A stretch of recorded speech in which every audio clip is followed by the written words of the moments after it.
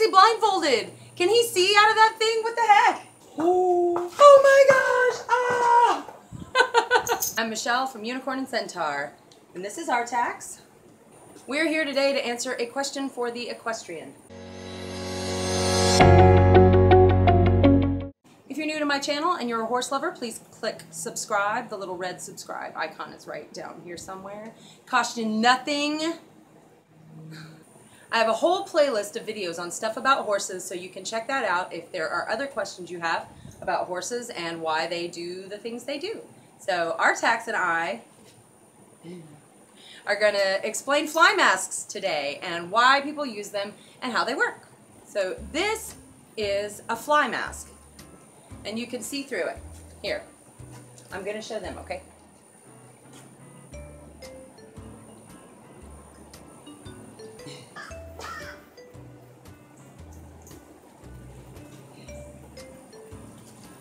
A fly mask is for sunscreen and fly protection, insect and sun protection. The screen is see-through so he can see, but he still has covers here for his ears. Oh look, I still, I didn't even pull his forelock out.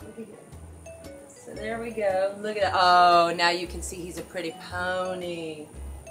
We live in coastal Georgia, but wherever you are on the planet, there's going to be some kind of biting insect that's going to bother you and bother your horses. Down here we've got gnats and mosquitoes and all kinds of biting flies. Artax has a special kind of mask on that also offers a sunscreen nose guard.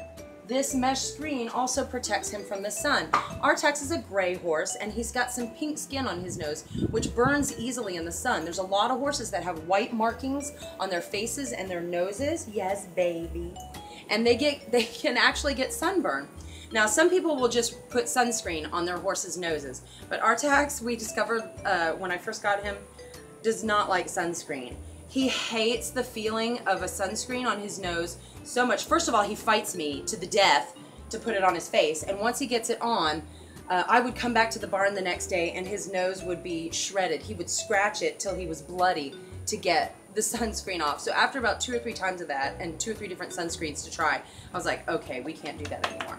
So we started getting fly masks. Now this time, if you watched our State Line Tack Haul, I'll link that right up here. If you watched our State Line Tack Haul video, then you saw us get this fly mask and you know that I had to get two of them because this doofy horse right here tore off two fly masks in two weeks. They scratch and they rub and they roll. It's one way that horse owners practice fly control.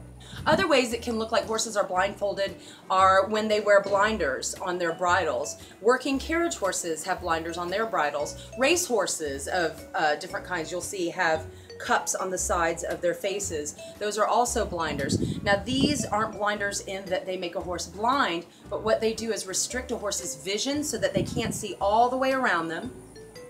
And if you've watched my do, Why Do Horses Give You Side Eye video, then you know that horses have nearly 360 degree vision. So when you restrict their vision, what you're doing is getting them to focus not on everything, but just on what's right in front of them. And that's helpful when you have a working horse uh, that you're trying to get to focus on a job, like a carriage horse or like a racehorse. You don't need the racehorse to look at all the horses behind him. You want him to go straight ahead. Look at you! There's your face. There's the baby face. Hi. And look, you don't have any bug bites on your ears or bug bites on your face. Yes, you're a good boy. You're such a good boy.